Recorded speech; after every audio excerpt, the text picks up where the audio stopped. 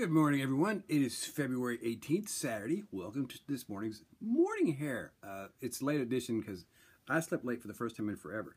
But interestingly enough, I woke up with the perfect hair because it's story day. story day. And I'm going to tell you one of my favorite stories.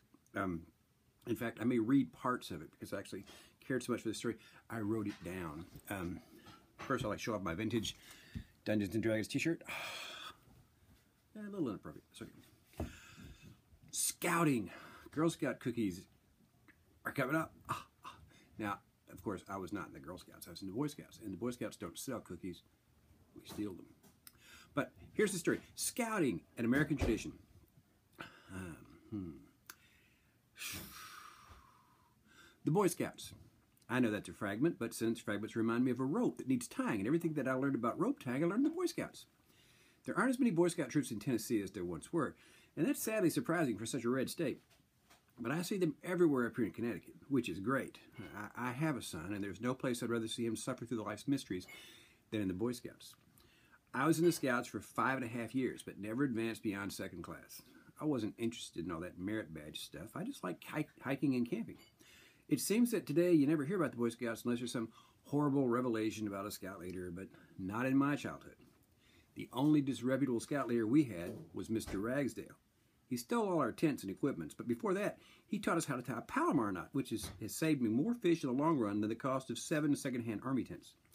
He also taught us how to bake potatoes at a fire and some wonderful curse words we'd never heard before. Okay, the last part I'm not too proud of, but at least one of the guys in my troop went to Hollywood and became a scriptwriter, so his mastery of profanity became a marketable skill, a skill which he wouldn't have learned not for the Boy Scouts. But the greatest gift Mr. Ragsdale gave us was the knowledge of justice.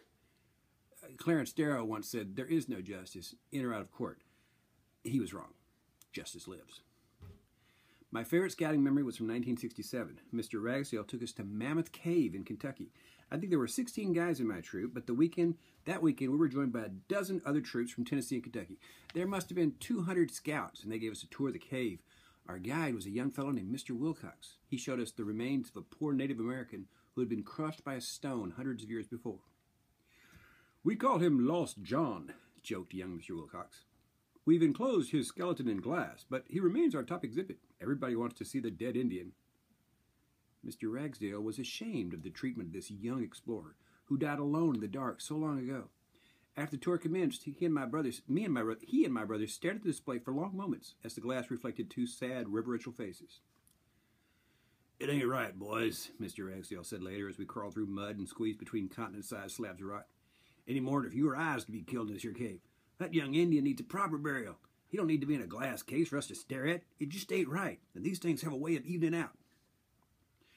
We think Lost John serves an important function, smirked young Mr. Wilcox. He's a piece of history frozen time. We gave him a proper service. It ain't right, repeated Mr. Ragsdale.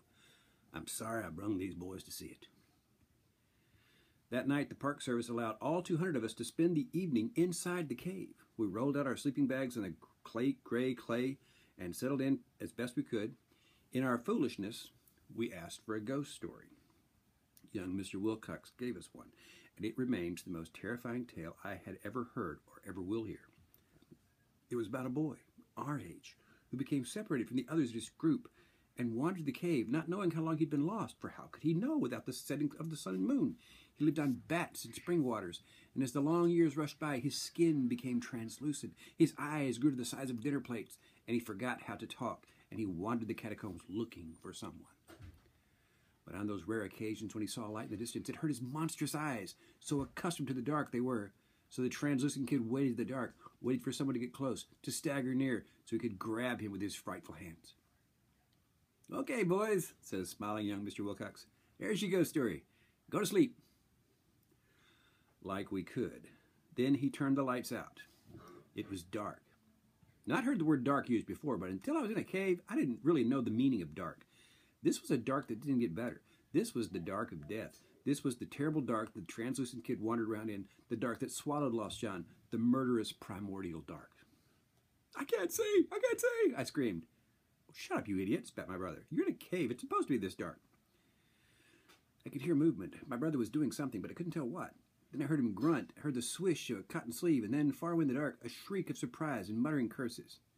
That night, in the dark of Mammoth Cave, the game of blind throwing cave floor clay was invented. There was only one, one rule don't, under any circumstances, turn on your flashlight. That would make you a target. The game went on for perhaps 30 minutes before young Mr. Wilcox threw the giant breaker and flooded the area with light. We shrank from the sudden illumination, covered in clay and guilt. What's going on here? demanded young Mr. Wilcox. I want you boys to go to sleep. I'm going to cut this light out and, and, and. He realized his mistake, but it was too late. Our eyes adjusted to the harsh white light, and each of us, 200 scouts and one righteous scout leader, possessed a clay ball and a focused aim. And now. When young Mr. Wilcox cut the light off, the air sizzled with a furious barrage, and one passionate scream several octaves lower than a typical Boy Scout's. This here's for Lost John! Mr. Ragsdale took us home the next day and absconded with our tents the following weekend. We didn't care. Lost John was removed in 1976 when a federal law was passed that prohibited the display of Native American remains. He was buried in a secret location. I don't know if they ever found Mr. Ragsdale, but I hope he got away. Some lessons can't be learned in school. I never saw young Mr. Wilcox again either, but my older brother assured him assured me the translucent kid probably got him. A happy story with a moral. Um, you can find that and other stories in this delightful book. Don't mind me, Tennessee and Lawson, Connecticut. By, by who's that? Who's that? Who's that by? Who's that by? it's by me. You can buy it on Amazon. It's perfect size for cloak spiders. Okay, that's it for today. Uh, this hair is the um, I don't know, the Boy Scout. Yeah, let's call it the Boy Scout. This is the Boy Scout here. And so, what's the Boy Scout motto? Do a good deed daily. Go do something good. See you tomorrow. Bye.